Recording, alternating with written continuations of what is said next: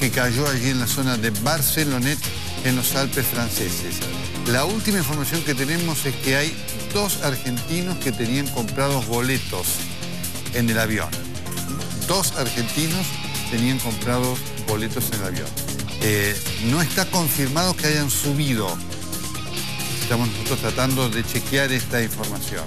Eh, eh, el diario ABC de Madrid los da como integrando el pasaje, pero nosotros todavía no tenemos absolutamente confirmado que estos dos argentinos que tenían boletos, eso sí, para el avión, hayan subido.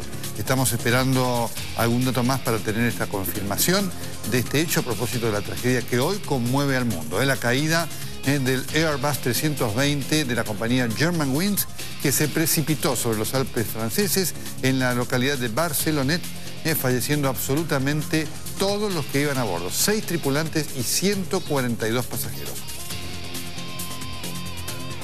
Muy bien, comenzamos.